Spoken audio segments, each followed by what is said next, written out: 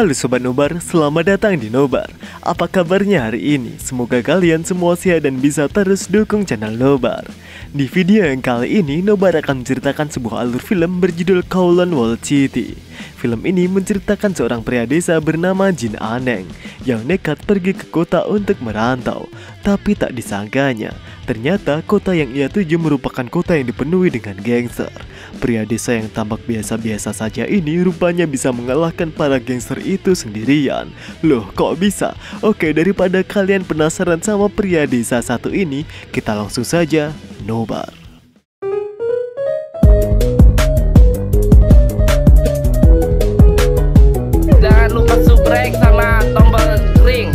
Oke. Di awal film, kita akan diperlihatkan dengan seorang pria bernama Jin Aneng yang sedang berada di tempat pemandian untuk membalas dendam pada kakak seperguruannya karena telah membunuh gurunya sendiri. Namun saat salah satu orang di sana menantangnya,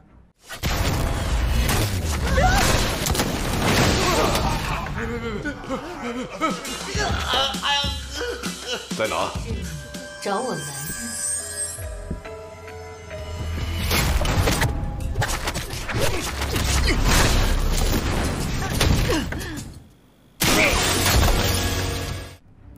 Setelah berhasil mengalahkan semua orang, Jin A meminta pria ini untuk membawanya pada kakak seperguruannya. Namun ternyata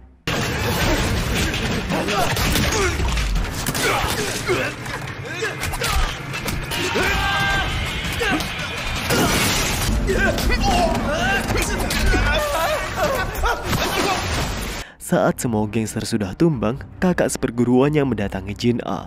Dan sebelum membalaskan dendam, Jin A mengeluarkan semacam batu nisan gurunya lalu kemudian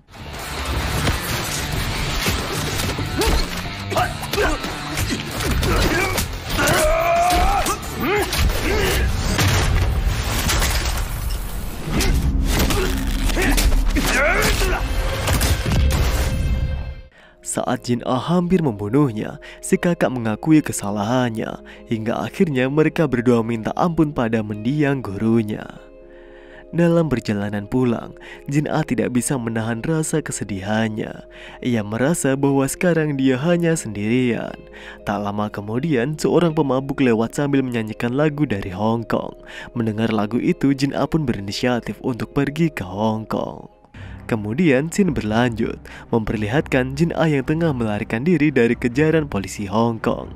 Saat Jin A memasuki bis, tanpa diduga ia bertemu dengan perempuan cantik yang bernama Feng Jiahui. Di mana saat itu Jiahui baru saja datang dari Inggris untuk menghadiri upacara pemakaman ayahnya. Mengetahui Jin A dalam bahaya, Jiahui pun langsung menyuruh Jin A duduk di sebelahnya dan berpura-pura menjadi tunangannya.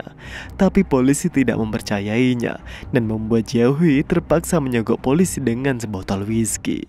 Sebelum turun dari bis, Jiahui menyadari bahwa Jin A sedang lapar. Ia pun memberikan sebungkus roti padanya.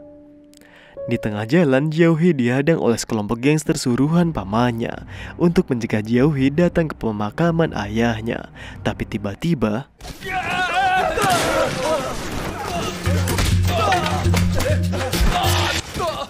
Di rumah Jiaohui, pemakaman ayahnya sedang berlangsung. Kemudian orang-orang di sana menunggu Jiaohui yang sebentar lagi akan diangkat sebagai pemimpin Kowloon Selatan untuk menggantikan mendiang ayahnya. Namun paman Jiaohui yang menginginkan posisi itu memprovokasi semua orang untuk memilihnya. Saat pengangkatan dimulai, tiba-tiba seseorang pria bernama Akun menghentikannya. Bersamaan dengan itu, Jiaohui datang bersama Jin A. Di sana, Jiaohui mengatakan bahwa dia bersedia menjadi pemimpin Kowloon bagian selatan. Tak kehabisan akal, paman Jiaohui pun menentang dengan alasan jika Jiaohui hanya seorang gadis lemah yang tidak mengenal kota Kowloon. Saat itu juga Jiaohui menunjuk Jin A sebagai kekuatannya dan Akun sebagai asisten petunjuk kota Kowloon. Saat si paman mempertanyakan kekuatannya, Jin A menyuruh pamannya untuk bertanya pada anak buahnya yang sudah babak belur di tangan si Jin A. Akhirnya, Jiaohui pun resmi diangkat sebagai pemimpin Kowloon Selatan. Scene berlanjut pada paman Jiaohui yang meminta maaf pada bosnya yang bernama Haeye karena telah gagal merebut kepemimpinan selatan. Dalam penjelasannya itu, paman Jiaohui tak sengaja menyebut orang bodoh yang membuat bos Haeye Rupanya Bos Hai tersinggung dengan kata orang bodoh karena adik kesayangannya mengidap penyakit keterbelakangan mental. Setelah itu Bos Hai memanggil anak buahnya, kita sebut saja Ang, untuk pergi ke Kowloon bagian barat dan mengusir penjual narkoba saingannya. Di tempat lain, Akun sedang mengajarkan tugasnya sebagai asisten petunjuk kota Kowloon Selatan. Dia menjelaskan bahwa polisi tidak berani datang karena dulu penduduk melawan polisi yang mau memusnahkan kota. Saat memutari kota Kowloon Selatan, Jauhi melihat para warga yang kekurangan air bersih dan listrik yang padam di malam hari. Saat makan, Jauhi meminta Akun untuk menjelaskan seluruh bagian di kota Kowloon. Kota Kowloon sendiri terdapat empat area yang masing-masing memiliki wilayah dan bisnis yang berbeda. Kowloon Selatan mengelola bisnis kasino yang dipimpin oleh ayah Jauhi. Kowloon Barat adalah dunia para wanita yang dipimpin oleh seorang wanita bernama Hongsu yang dikenal mampu mengalahkan 18 pria dalam satu pukulan saja di mana Hongsu juga berkuasa penuh atas air dan listrik di Kowloon Selatan. Kowloon Timur dipimpin oleh Bos Haye yang menguasai bisnis narkoba di seluruh kota Kowloon. Sedangkan Kowloon Utara dikuasai oleh orang-orang kaya yang sangat berkuasa dan kejam. Setelah itu Jin A bertanya tentang bangunan tinggi yang ada di kota Kowloon di mana bangunan itu adalah bagian dari Kowloon Utara yang dijuluki sebagai tempat hantu. Kowloon Selatan, Kowloon Barat, dan juga Timur dilarang keras memasuki tempat hantu. Mereka menyebut pemimpin tempat itu sebagai hantu putih. Keesokan harinya, Jauhi, Jin A, dan Akun mendatangi Hongsu dan memintanya untuk membagi listrik dan air untuk Kowloon Selatan. Selain itu, Jauhi juga mengajak Hongsu bekerja sama untuk membangun kota yang lebih baik lagi. Saat Hongsu menolak ajakan Jauhi, tiba-tiba para gangster datang dan membuat kerusuhan di sana.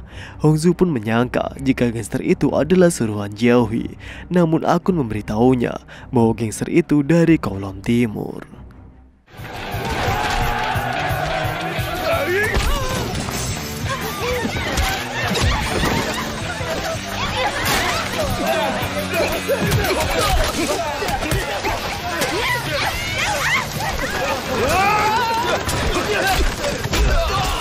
Berkat bantuan Jin A, akhirnya Hongsu pun berhasil mengalahkan mereka.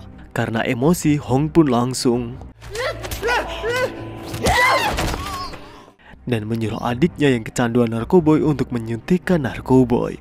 Tapi sayangnya, Ang berhasil melarikan diri. Setelah mengetahui bahwa Jin A adalah teman sedesanya, Hong pun berjanji akan membagikan air dan listrik di Kowloon Selatan.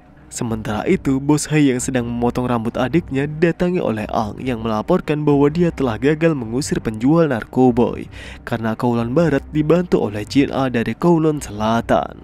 Sekarang air di Kowloon Selatan tampak mengalir dengan normal. Begitupun listrik yang tetap menyala di malam hari, membuat penduduk desa sangat senang. Kemudian Hongsu dan Jiaohui mengadakan pertemuan untuk membahas kerjasama dalam menyatukan dan merubah kehidupan Kowloon Selatan dan Barat agar menjadi lebih baik lagi. Tak berselang lama, usaha di Kowloon Selatan berubah menjadi usaha salon. Sedangkan Kowloon Selatan melakukan kegiatan positif seperti belajar, menyanyi, dan menghentikan perjudian. Singkat cerita, mereka mengadakan pesta untuk menyambut pertengahan musim gugur. Di pesta itu, Jin A mulai jatuh hati pada Jiaohui. Sampai suatu hari Jin A membeli baju baru untuk pergi berkencan dengan Jiaohui. Saat bertemu dengan malu-malu Jin A memberikan bunga pada Jiaohui. Setelah itu mereka pun pergi ke sebuah restoran. Di sini Jiaohui memberikan hadiah kepada Jin A, sebuah bongpai atau batu nisan milik gurunya yang sudah diperbaiki. Kemudian saat Jauhi dari toilet, tiba-tiba Bos Hai menghadangnya dan meminta Jauhi untuk menemani tamu-tamunya.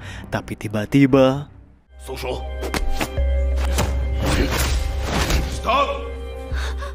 Beruntung, seorang inspektur Inggris bernama John menghentikan mereka dan mengusir Bos Hai dari restoran itu. Di sana, Jauhi mengadukan kejahatan Bos Hai dan meminta Inspektur John untuk menangkapnya. Namun Inspektur menolak karena polisi tak bisa masuk ke wilayah itu. Mendengar itu, Jauhi pun berjanji bahwa dia akan bawa Inspektur serta anak buahnya memasuki kota Kowloon untuk menangkap para penjahat yang ada di sana. Tak lama kemudian, Hong dan Akun datang ke sana. Saat melihat Inspektur John, Akun langsung memberinya salam karena dulunya akun ini mantan polisi yang berada di bawah perintah Inspektur John. Keesokan harinya, para penduduk menolak kedatangan Inspektur John beserta anak buahnya. Tak lama kemudian, Jauhi datang dan meyakinkan penduduk untuk membiarkan Inspektur John memasuki kota Kowloon. Sementara anak buah Inspektur menunggu di luar. Setelah itu, Inspektur John mengajak mereka untuk pergi ke tempat hantu dengan alasan akan menangkap pemimpin terjahat di kota Kowloon. Di dalam, mereka dikejutkan dengan pesta yang sangat meriah. Dan saat Hong melihat adiknya, Ternyata Inspektur John adalah pemimpin tempat hantu sekaligus yang membantu usaha Bos Hai. Dari sini kita juga bisa mengetahui bahwa ternyata akun bekerja sama dengan mereka untuk menjadi mata-mata di Kowloon Selatan. Dan lebih parahnya lagi, ayah Jaehui harus tewas di tangan Inspektur John karena telah menolak kerjasama dengannya. Di sana akun mengaku pada Jaehui bahwa ia tidak tahu jika Inspektur John yang membunuh ayah Jaehui. Hingga akhirnya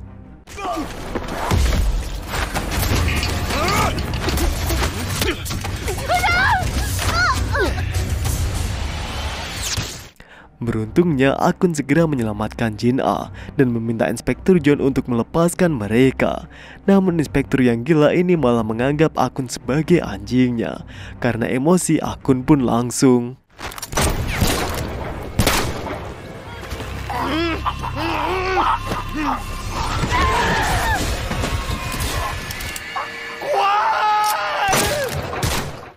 Scene berlanjut pada anak buah Bos Hai yang mengobrak-abrik Kowloon Barat dan Selatan. Bersamaan dengan itu, Bos Hui berencana menikahkan Jae Hui dengan adiknya yang keterbelakangan mental. Sementara Hong sedang berusaha meyakinkan penduduk untuk melawan Inspektur John beserta anak buahnya. Akan tetapi, penduduk menolak. Tak lama kemudian, Jin A datang dan berhasil meyakinkan para penduduk kota Kowloon.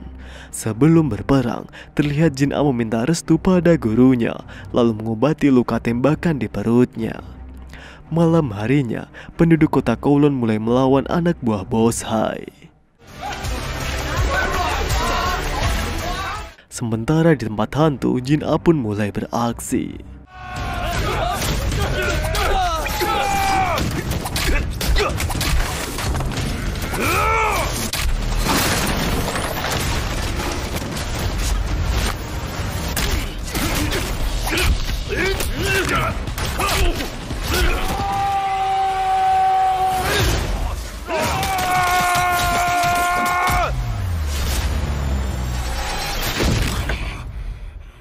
Sementara itu, Inspektur John yang mencoba menyentuh Joy Hai tiba-tiba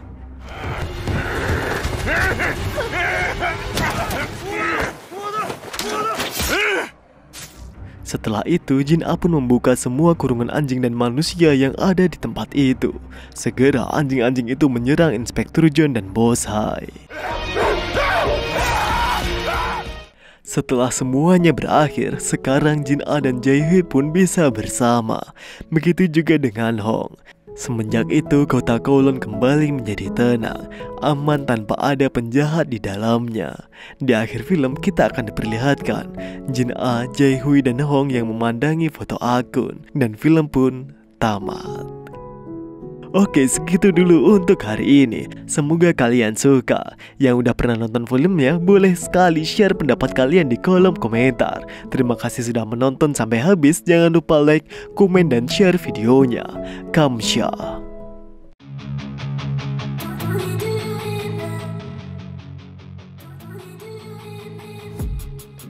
Dreaming on in my head like I've seen it. A life worth living is a life with meaning. I'll do what I love till my heart stops beating. I'm feeding this demon